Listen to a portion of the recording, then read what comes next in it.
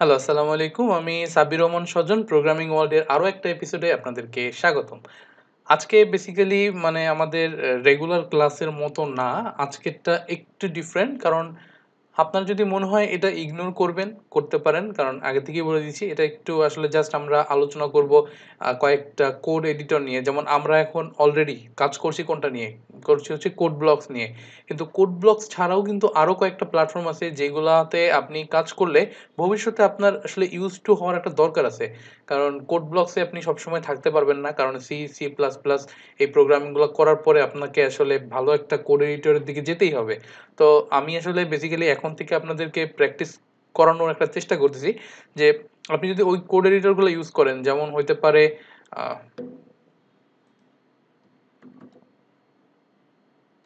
এটা হচ্ছে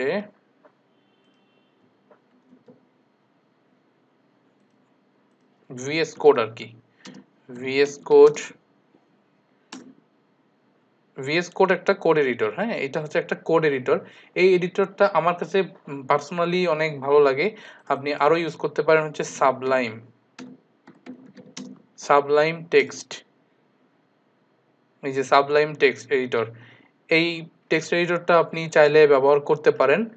তো এই দুইটার ভিতরে, এই দুইটা কিন্তু যে যথেষ্ট ভালো কোয়ালিটির কিন্তু আপনি দেখবেন যে অধিকাংশ সময় আপনি যখন এই যে এখন যে স্টেজটা আছেন, এখন এখন প্রোগ্রামিং নর্মাল প্রোগ্রামিং যখন শিখতেছেন সি, সি প্লাস প্লাস মানে বেসিক যেগুলো শিখতেছেন, এর পরবর্তীতে আপনি যখন প্রফেশনালি কাজ করতে যাবেন, আপনাকে আরেকটু বেটার কনফিগারেশন এর আ আপ কোড এডিটরে যেতে হবে।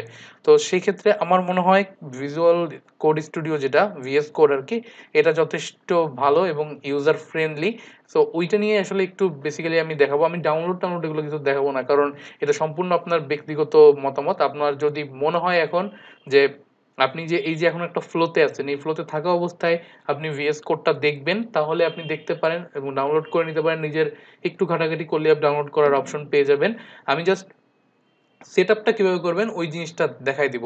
আর আরেকটা জিনিস খুবই গুরুত্বপূর্ণ একটা জিনিস সেটা হচ্ছে মনে করেন আজকে আপনি বাইরের কোনো একটা কম্পিউটারে, হ্যাঁ? আপনি হয়তো আপনার ফ্রেন্ডের কোনো একটা কম্পিউটারে এসে বসছেন।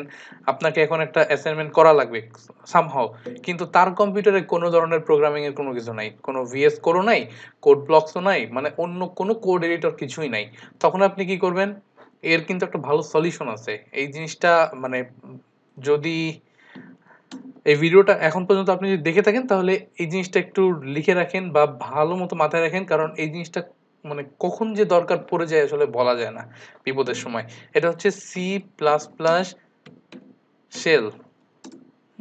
C plus plus shell. মানে এর ওয়েবসাইটের লিঙ্কটা হচ্ছে সিপিপি ডট এস এইচ এইটা একবার এমন হয়েছে আমার মানে কোনো একটা কারণে আমার কম্পিউটারে খুব মেজর একটা প্রবলেম হয়েছিল।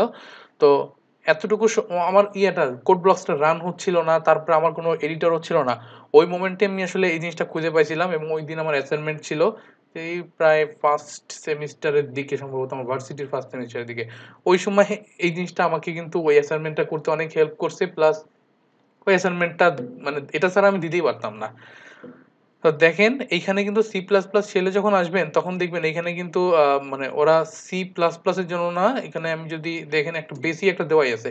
এখানে আপনার যে কোনো প্রোগ্রাম কিন্তু রান করতে পারবেন। আমি হ্যাশ ইনক্লুড আই স্ট্রিম আমি আমরা যেভাবে সবসময় কোড ব্লকস লিখে আসছি ওইভাবে লিখে দিই। ইউজিং নেমস্পেস এসটিডি তারপরে ইন্ট মেন আমার এগুলোর দরকার নাই। এগুলো না দিয়ে আমি এখানে একটা রিটার্ন করে দেই। রিটার্ন 0 একটা সিম্পল কারণ একটা সিম্পল আমি আউটপুট দেখার চেষ্টা করি। সি ইন করব ইউজারের কাছ থেকে একটা ইনপুট নিব। প্লিজ সি আউট একটা ইন্ট এ সি আউট বলব প্লিজ ইনপুটে নাম্বার ইউজারের কাছ থেকে একটা ইনপুট নিব এবং যে কন্ট্রোল এস দেওয়ার অভ্যাস তো সবসময় বারবার কন্ট্রোল এস পড়ে যাচ্ছে। C out sorry C in a একে এ নিয়ে নিলাম, তারপরে সি আউট করে দেই।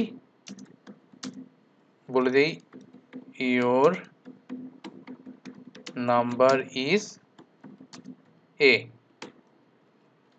ঠিক আছে? তো আমাদের হয়ে গেল। আমরা এখান থেকে ইজিলি কিন্তু এখান থেকে রান করতে পারি। এখানে কিছু ভার্সন আছে। কোন ভার্সনে আমরা এটাকে রান করব তা আমি এখান থেকে সিম্পলি রান করে দিই। রান করলে, এই যে দেখেন নিচে আসছে প্লিজ ইনপুটের নাম্বার আমি দিলাম ফাইভ তো ইওর নাম্বার ইজ ফাইভ তার মানে কম্পাইলেশনও কিন্তু খুব সুন্দর মতো হচ্ছে। তার মানে অনলাইনে আপনি চাইলে খুব সুন্দর করে এই কাজগুলো করতে পারেন। তো আমাদের আজকের যে আরেকটা যে বেসিক টপ মেইন টপিক যেটা ছিল, সেটা হচ্ছে আমরা ভিএস কোড কীভাবে ইউজ করব। আপনি ভিএস কোডটাকে ডাউনলোড করে নেন, করার পরে কি কি সেট করতে হবে, সেটা আমি দেখাই দিচ্ছি। আর ভিএস কোডটা ইউজ করলে আপনার কি কি ফ্যাসিলিটিস আপনি পাবেন সেটাও একটু বলে দিচ্ছি। দেখেন কোড ব্লকসে আমরা যখন কোড করতাম, আমাদের আসলে মানে একটু জিনিসটা আমি অফ করে দিই। মনে করেন এখানে কিছু নাই, আমি নতুন একটা ফাইল এখানে ভিএস কোড আসার পরে নতুন একটা ফাইল ক্রিয়েট করি তারপরে আমি কথাগুলো বলছি। ফাইল ফাইলে যাব, এখানে নিউ একটা ফোল্ডার নিব। ফোল্ডার থেকে যেই ফোল্ডারের ভিতরে আপনি আসলে সব সি প্লাস প্লাসের প্রোগ্রামিংগুলো করতেছেন, সেই সেই ফোল্ডারটা আপনি ওপেন করে ফেলেন। সি প্লাস প্লাস আমি এই ফোল্ডারটাকে ওপেন করেছি। কারণ আপনাদের যত টিউটোরিয়াল আমি করতেছি সব কিছু আমি এই এক জায়গায় সেই কিন্তু রেখে দিচ্ছি। তো আমি যখন এই জিনিসটাকে এক্সপান্ড করতেছি, তখন কিন্তু বাম পাশে আমার যা যা যা কোড করাইছি এখন পর্যন্ত সবগুলো কিন্তু দেখতে পাচ্ছি। এখন খুব ইজিলি দেখতে পাচ্ছি। তারপরে আমি যদি সিম্পলি যে যে এই যে রিভার্স নাম্বার এটা যদি অন করি, তাহলে কিন্তু কোডগুলো দেখতে পাচ্ছি। এবং দেখেন, এখানে একটা সুবিধা হচ্ছে, একটু কালার টালার করে দিছে, আগে থেকে একটু প্রিমিয়াম প্রিমিয়াম একটা ফিল চলে আসে এটা দেখতে।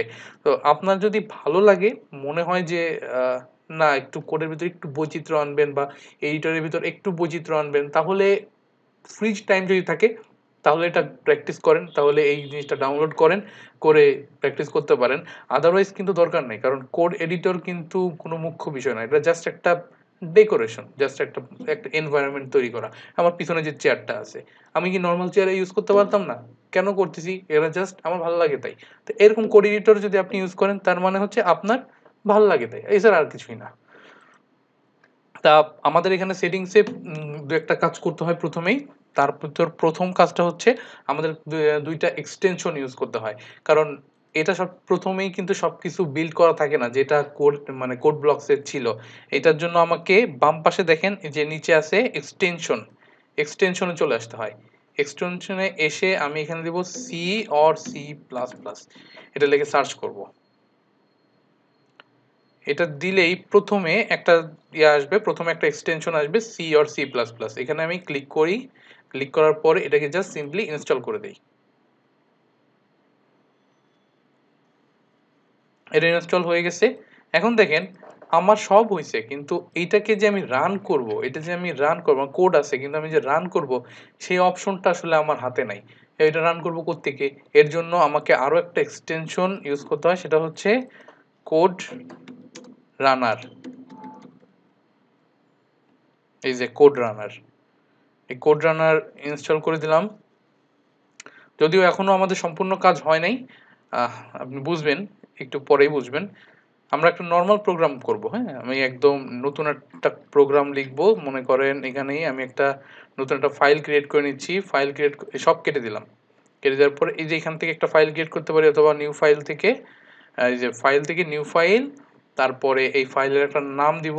নাম কি হইতে পারে? নাম দিব হচ্ছে সি প্লাস প্লাসের মধ্যেই করি। এটার নাম দিই হচ্ছে VS code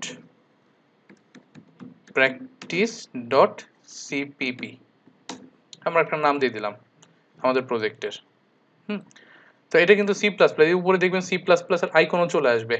এখন আমরা আমাদের যেভাবে আমরা কোড করতাম অ্যাজ ইউজুয়াল সেভাবেই করব। hash include rstream using की लेखी space std अच्छा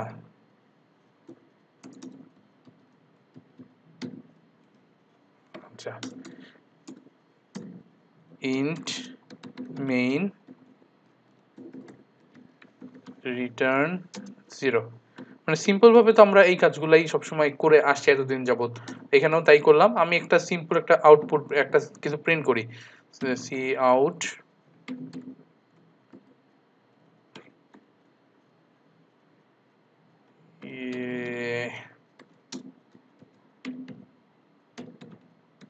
successfully run.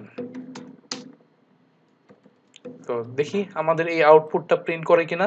এ দেখেন, উপরের ডান পাশে ডান পাশে একদম উপরে যে একটা প্লে বাটন কিন্তু চলে আসছে মানে হচ্ছে রান বাটন আর কি। এখানে যদি আমি রান দেই, তাহলে আমার নিচে এখানে আউটপুট চলে আসবে, এই যে ইয়ে সাকসেসফুলি রান মানে আমার কোডটা কিন্তু সাকসেসফুলি রান হয়েছে।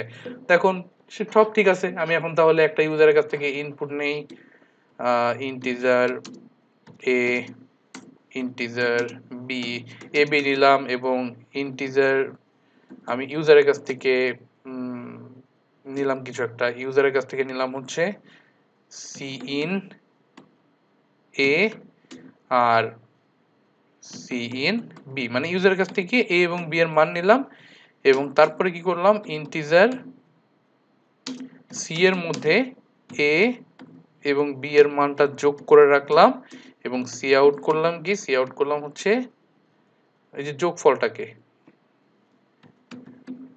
এডিশন ইজ কত? এডিশন হচ্ছে আমার সি খুব সুন্দর করে আমার প্রোগ্রামটা রান করার কথা। ঠিক আছে, আমি রান করি। কোনো একটা সমস্যা হচ্ছে রান কিন্তু করতেছে না, কিছু একটা ঝামেলা হচ্ছে। আবার করি। কোড অলরেডি রানিং কিন্তু আসলে কিন্তু আমার কোনো কাজ হচ্ছে না। ইউজার আমার কাছ থেকে কোনো ধরনের ইনপুট চাচ্ছে না। আমি কিছু লেখার চেষ্টা করতেছি, কিন্তু কিছুই আসতেছে না। এটার কারণ কি? এটার কারণ হচ্ছে ভিএস কোডে আপনাকে আরও একটা কাজ করতে হয়। সেটা হচ্ছে ভিএস কোডে আপনাকে টার্মিনালটাকে নিয়েও একটু কাজ করতে হয়। তো এখানে ফাইলে চলে যাবেন ফাইলে যাবেন, যাওয়ার পরে প্রিফারেন্সে চলে যাবেন। প্রিফারেন্সে যাওয়ার পরে সেটিংস ফাইল প্রিফারেন্স সেটিংস আর এখান দিয়ে সার্চ দিবেন হচ্ছে, উপরে যে সার্চ বার থাকবে, এখানে সার্চ করবেন হচ্ছে রান ইন টার্মিনাল এটা লিখে সার্চ দিবেন রান ইন টার্মিনাল লিখে সার্চ করার পরে একটু নিচের দিকে আসলে দেখতে পাবেন যে এখানে একটা অপশন থাকবে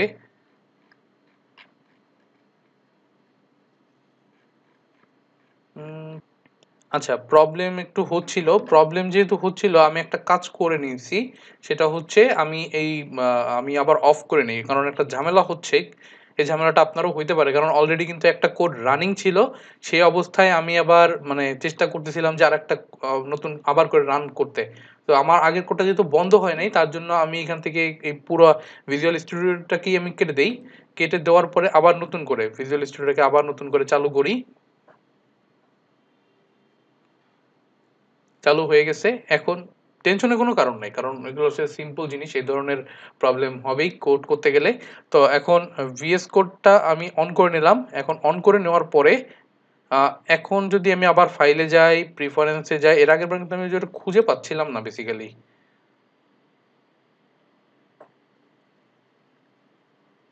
নিচে যাই, চলে, নিচে যাই, এখানে আমি দিব হচ্ছে run in terminal run in terminal যদি দেই, তাহলে একটা অপশন আপনি দেখতে পারবেন। এখানে আছে code runner run in terminal code runner run in terminal এটাকে জাস্ট অন করে দেন। কাজ শেষ।